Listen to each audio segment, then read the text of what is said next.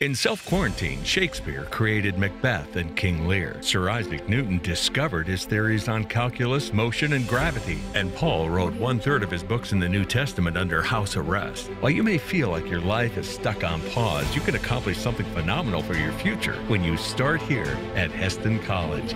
Discover your virtual tour, talk on the phone, or online with an admissions expert. Go to hesston.edu. Start here, go everywhere.